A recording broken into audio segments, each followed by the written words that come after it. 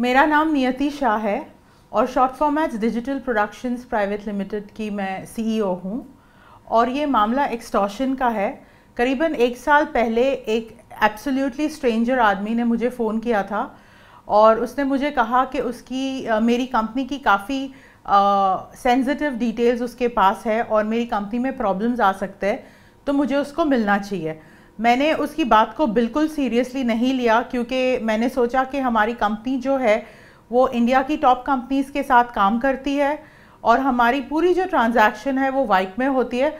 मेरी कंपनी को क्या प्रॉब्लम आ सकती है? और दूसरी बात कि मेरी कंपनी में से डेटा कोई क्यों लीक करेगा? कैसे लीक करेगा? तो मैंने इस इंसान को बिल्कुल सीरियसली नहीं लिया। ये मुझे कंटिन्यूसली व्हाट्सएप करते गया फ़ोन करते गया और मुझे बोलते गया कि तुम्हारी कंपनी में प्रॉब्लम आने वाली है। और एक्चुअली uh, uh, दो तीन महीने के बाद मेरी कंपनी में रेड हुई। तब जाके मैंने इस आदमी को सीरियसली लेना चालू किया। तभी मुझे लगा कि हाँ ये जो बोलता है ये करता है। तो मैं इससे मिली। इससे मिली तो फिर मुझे पता चला कि इसको मेरी कंपनी की बहुत सारी इन्फॉर्मेशन पता थी। इसको पता था कि मेरे बैंक अकाउंट्स किधर है। इससे ये भी इन्फॉर्मेशन पता रहती थी कि जब भी हमारी कंपनी में जब मेरे बैंक अकाउंट में पैसा आता था हमारे पार्टनर्स से या मैं क्रेडिट कार्ड अपना यूज़ करती थी, इसे हर इंफॉर्मेशन पता थी, जिसकी वजह से मैं और ज़्यादा प्रेशर में आ गई, बहुत टेंशन में आ गई कि ये आदमी कौन है, कैसा है, इसका नेटवर्क क्या है, कि इसे इतनी इन्फॉर्मेशन कैसे पता रहती है? क्योंकि ये मुझे टाइम टू टाइम अपडेट करता जाता था, मैं और प्रेशर में आ गई, फिर इसने मुझसे टेन लाख रुपीज़ की डिमांड की तो ये टेन लाख रुपीज़ मैंने उसको दिए।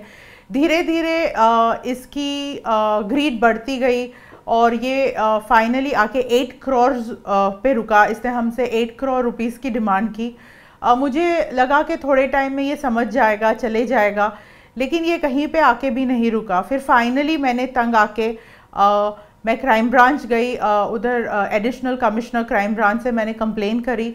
उन्होंने फिर मेरा आ, जो केस था वो यूनिट नंबर 11 क्राइम ब्रांच में दिया जहाँ पे सीनियर ऑफिसर चीमाजी आडव और जो हमारे केस के आयो है, मनोहर हारपुड़े, ये दोनों ने मुझे हौसला दिया कॉन्फिडेंस दिया that I don't need to worry they will protect my company's interest my company's data इन लोग ने बहुत टेक्टफुली पूरा ट्रैप प्लान किया रविंद्र खेरा के लिए और बहुत ही स्मार्टली रविंद्र खेरा को अरेस्ट किया और अभी मिस्टर खेरा बिहाइंड बार्स है। हमारे लिए सबसे जो शॉकिंग बात थी जब ही मिस्टर खेरा को अरेस्ट किया और उसको इंटरोगेट किया कि हमारे ही कंपनी के एक्स एम्प्लॉयज़ जो मेरी एक्स पार्टनर थी रचना पूरी, उसके हस्बैंड जो मेरी कंपनी में काम करते थे, मेरे एक्स एम्प्लॉय थे, वो और दूसरा जो हमारे एक्स एम्प्लॉय है, इरफान पटेल, जो हमारी अकाउंट्स टीम में था ये दोनों ने हमारी कंपनी का डेटा स्टील किया और हमारी कंपनी का डेटा लीक किया था।